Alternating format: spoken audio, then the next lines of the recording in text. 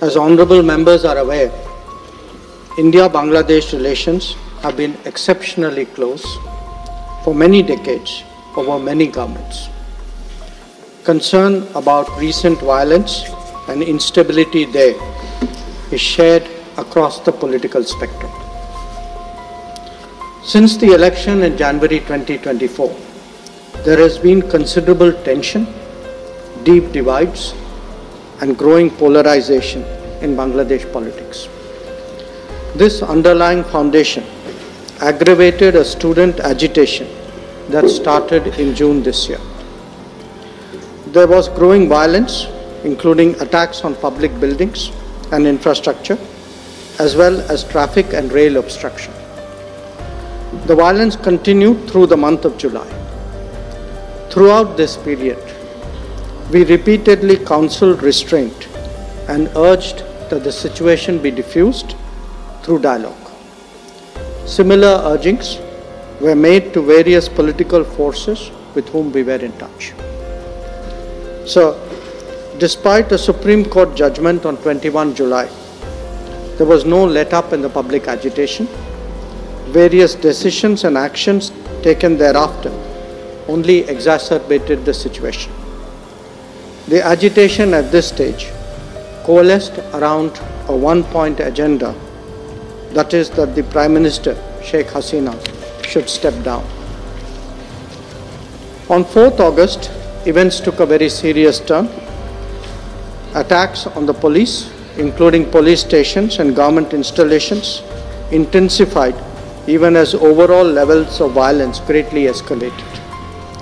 Properties of individuals associated with the regime were torched across the country. What was particularly worrying was that minorities, their business, businesses and temples also came under attack at multiple locations. The full extent of this is still not clear.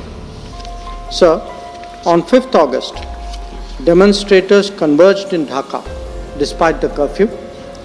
Our understanding is that after a meeting with leaders of the security establishment, Prime Minister Sheikh Hasina apparently made the decision to resign. At very short notice, she requested approval to come for the moment to India. We simultaneously received a request for flight clearance from Bangladesh authorities. She arrived yesterday evening in Delhi. The situation in Bangladesh, sir, is still evolving. The Army Chief, General Waqar-uz-Zaman, addressed the nation on 5th August. He spoke about assuming responsibility and constituting an interim government. We are in close and continuous touch with the Indian community in Bangladesh through our diplomatic missions. There are an estimated 19,000 Indian nationals there, of which about 9,000 are students. The bulk of the students, however, have already returned to India in the month of July the advice of the High Commission. In terms of our diplomatic presence, in addition to the High Commission in Dhaka, we have Assistant High Commissions in Chittagong, Rajshahi, Khulna and Sylhet. It is our expectation that the host government will provide the required security protection for these establishments. We look forward to the normal functioning once the situation stabilizes. Chairman, sir, we are also monitoring the situation with regard to the status of minorities. There are reports of initiatives by various groups and organizations to ensure their protection and well-being. We welcome that, but will naturally remain deeply concerned till law and order is visibly restored. Our border guarding forces have also been instructed to be exceptionally alert in view of this complex situation. In the last 24 hours, we have also been in regular touch with the authorities in Dhaka. This is the situation as of now.